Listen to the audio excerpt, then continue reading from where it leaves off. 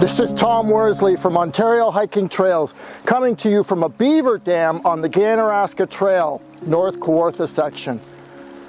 And uh, if you like my channel, if you like videos like this, please subscribe to my channel. Down here on my left and on your right is a red subscribe button. Click on the red subscribe button, click on the bell, and click all, and you'll get a notification every time I upload a new video.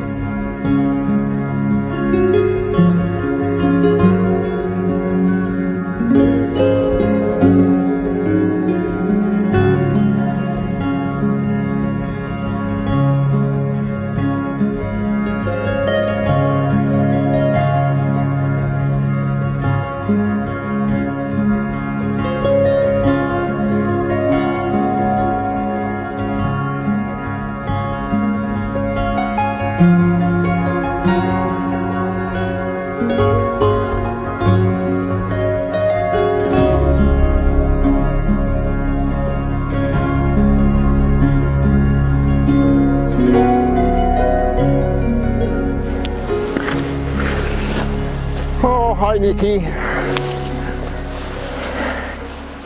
So this is the North Kawartha section of the Ganaraska hiking trail.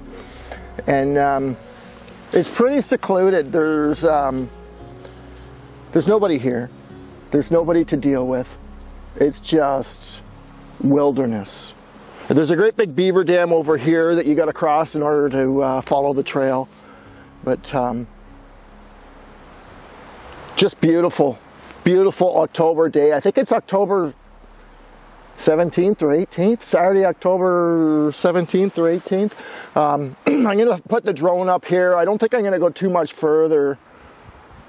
Um, in the springtime, I came in here to look for Corbin Lake. I found Corbin Lake.